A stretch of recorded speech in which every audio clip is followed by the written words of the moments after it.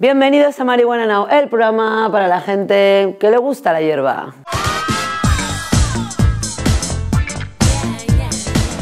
Hola compas, seguro que estáis pensando en qué poner en vuestra terraza esta temporada de exterior. Con lo que está apretando el sol, tendréis que mirar algo para que estén bien fresquitas. Y tal como se presenta la subcomisión medicinal, parece que seguirán camufladas y lejos de miradas indiscretas. Y quizá algún riego automático para no dejarlas descuidadas porque este verano se presenta movidito y la vuelta también. Y siguen llegando deliciosas novedades para el 2022. Llega la Movi Delicious ¿Te resulta familiar el nombre, verdad? Pues Delicious Seeds lanza al mercado una versión mejorada de una de las sativas más famosas del mundo, de aroma floral con toques a limón, incienso y madera de pino, con una productividad y potencia únicas. Haz de un buen sitio en tu jardín y la Movi Delicious te obsequiará con unos enormes, pesados y densos cogollos. Y para rematar, tremendo efecto psicodélico. Sin duda esta variedad no tiene desperdicio. Entra en su web y consíguela. Ya avisábamos en el programa anterior de la cantidad de eventos que íbamos a poder disfrutar las próximas semanas, como la Feria Canasur en Sevilla o el Bilbao Cannabis Showroom que se celebrarán este mismo fin de semana. Además, se vienen importantes novedades, como la CBD Cannabis Business Fair en la Feria de Cornellá. Raúl del Pino nos lo adelantaba en la última Spanavis. Y bueno, ¿para cuándo la próxima cita? Pues el 7, 8 y 9 de octubre en este mismo recinto vamos a celebrar la CBD Hemp Business Fair que es una feria exclusivamente para, lo que es la industria del CBD y del cáñamo industrial. Eh, va a tener el mismo formato que Spanavis, eso sí, con, habrá showroom, demostraciones y también contaremos con un buen abanico de conferenciantes. Así que bueno, esperamos veros allí, a Marihuana Televisión y a todo el público de, de Spanavis.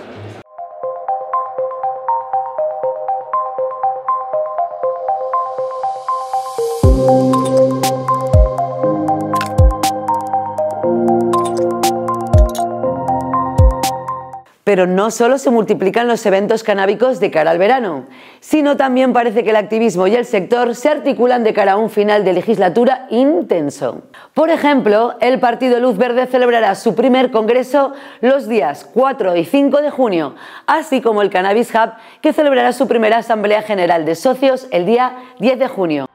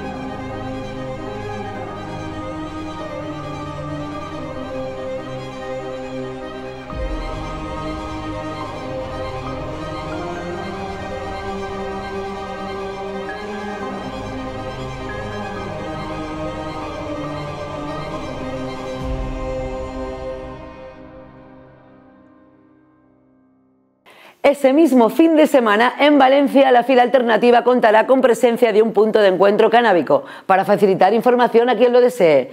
Y el 18, también en Valencia, la tercera copa Grow Barato.